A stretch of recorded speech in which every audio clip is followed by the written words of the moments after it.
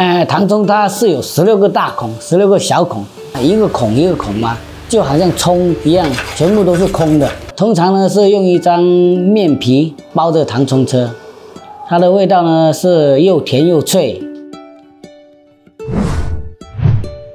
我叫许银川，是糖葱的第四代传人。我们家的糖葱因为祖传下来时间比较长吧。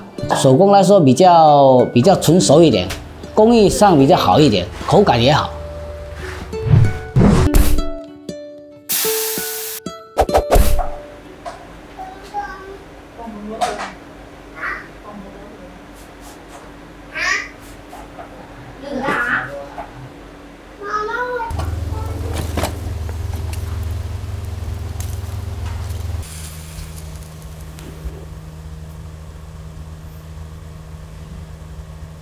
就是一家人分工合作吧。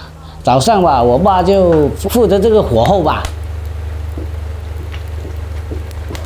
糖葱的原料最主要就是白糖跟面。嗯，糖葱的步骤呢，第一就是把糖倒到锅里，然后加水加醋，把它融化。呃，那个木木板把它搅拌，防止它粘粘锅。如果火候太软，这糖吃起来粘牙；火候太硬的话，它吃起来它就太硬。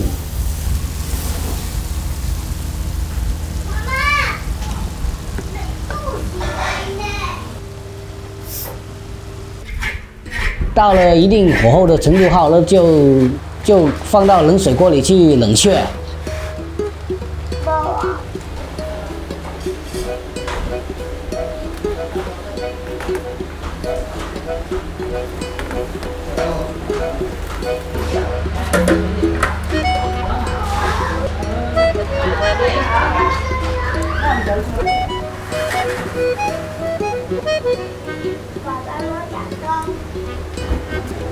接之后就放到木棍上面，把它给搅拌。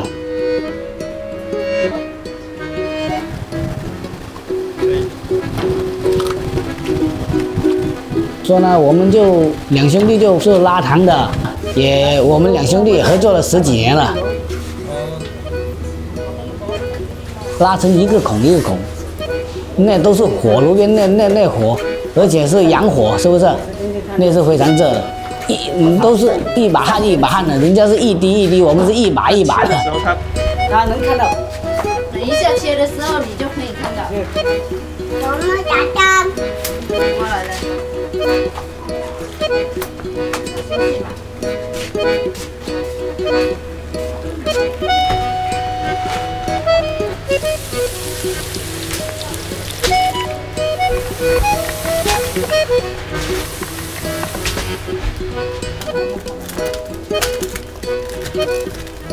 我老婆啊，我嫂子他们就负责说把这个糖包装，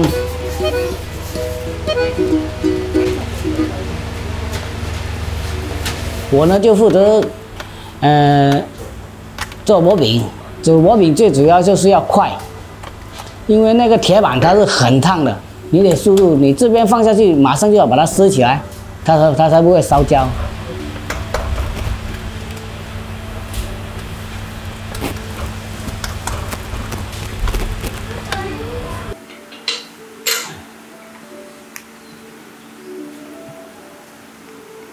那个糖葱配着功夫茶喝的话，它就不会甜，吃起来非常好。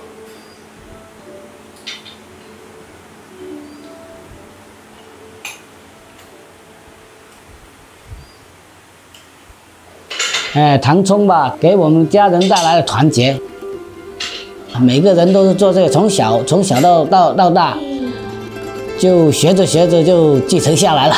因为糖葱不是说一家一两个人可以做的。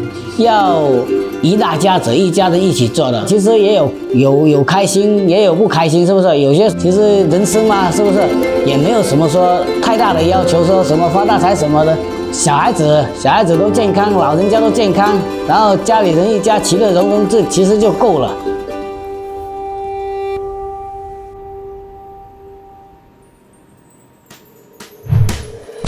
Next time on Main Street Gourmet, we visit a shop in Jiangxi that makes candy shaped like a giant dumpling.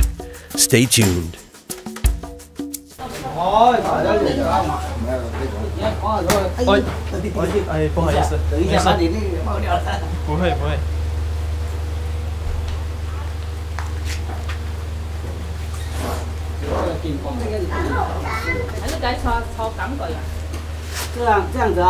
你。看一下，就是这样子。